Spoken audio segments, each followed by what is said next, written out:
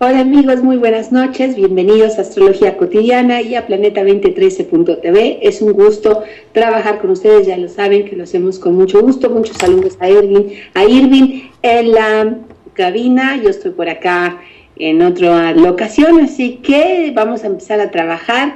Ahorita aparecen los teléfonos en el estudio. Esta semana le vamos a poner al programa la luna y sus eh, movimientos, la luna y sus cambios, si quieren, vamos a ponerle.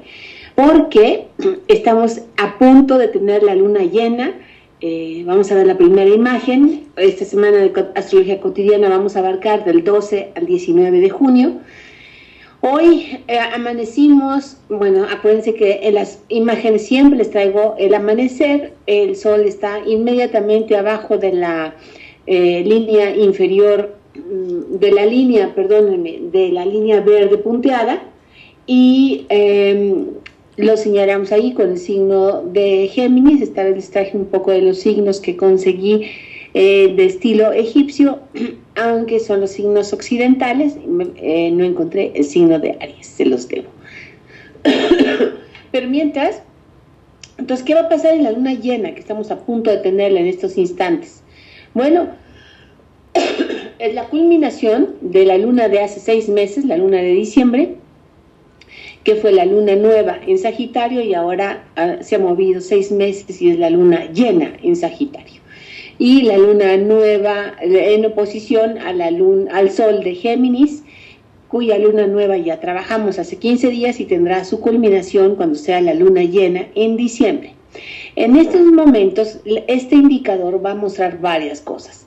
Eh, lo primero es que Géminis, eh, que todavía está 21 grados, 21 grados el Sol, va a estar nueve días en el signo y le trae al Géminis la oportunidad de revisitar, de replantear en su mente muchas ideas que de otra manera salen corriendo a la velocidad acostumbrada y en este momento tanto ideas como movimientos tienen la circunstancia de detenerse, de ir un poco a revisión, cosa que los Géminis les cuesta un poco de trabajo porque están acostumbrados a otra velocidad y a otra eh, manera de moverse. Pero en este momento eh, la luna así amaneció y se va a culminar a las 11.09 de la noche en la casa de los grupos y de las eh, creaciones y de los hijos y de los amores. Entonces, siendo que el nodo norte amaneció también hoy en la mañana en la casa 5 y ahí va a recibir la luna, el sol de Géminis, la luna, eh, el sol de Géminis, la luna nueva, pues entonces se trata de un eje en donde están en cuestión las relaciones de uno, de, de uno con uno mismo y con el otro, con la pareja, y también con las con lo que yo mencioné. Ahora, desde el comienzo hay una energía muy poderosa sobre fuego, porque la luna hizo un gran trígono, como lo están viendo en azul, sobre la eh, Lilith en eh, Leo y Urano en Aries. Y eso hace de este gran trígono la, la posibilidad de plantearse eh, espiritualmente o desde el ánimo un entusiasmo para el cambio, por replantear eh, todas estas ideas que trae el Sol en Géminis eh, y qué dirección les va a dar la Luna, hacia dónde le va a dar significado y, em, y orden.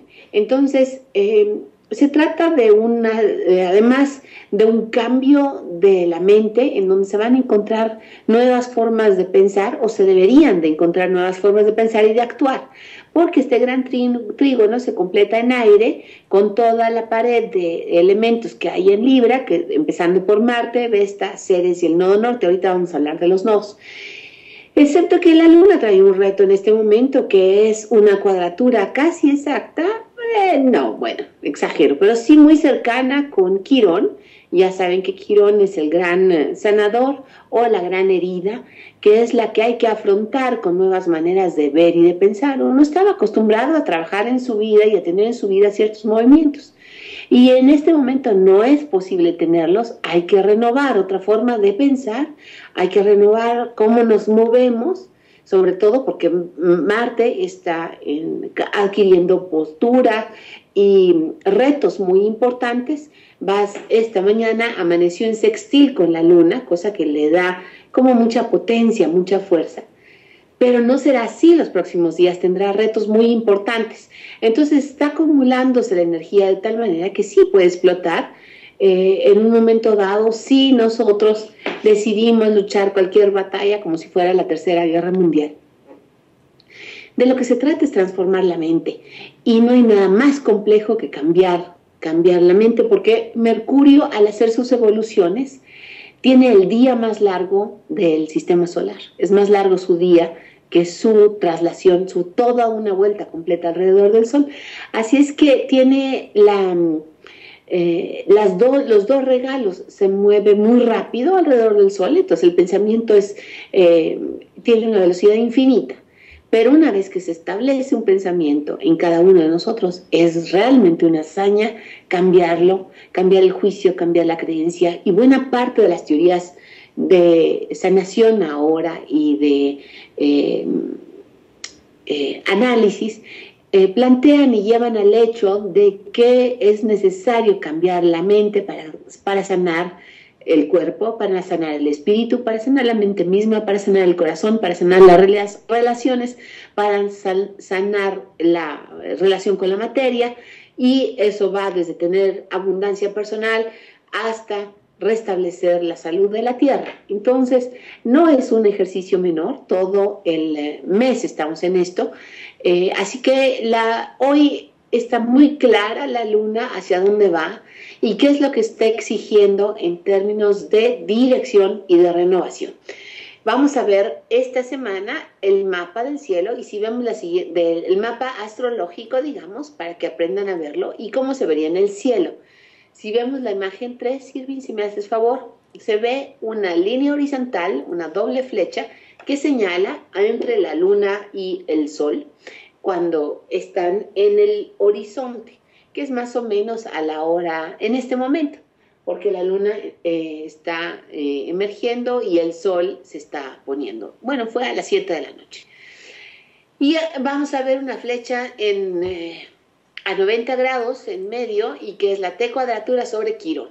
Y si piensen en un lugar en el espacio, está un poco descentrado porque está el sur señalando la cruz del sur en otro momento hemos hablado mucho de ella, que es una dirección muy importante que implica, eh, sobre todo en el campo tanto social, natural como personal, un lugar de cambio, un momento de cambio en donde eh, hay que atender y regar literalmente con agua, con sentimientos, con el corazón, una situación para poderla mover.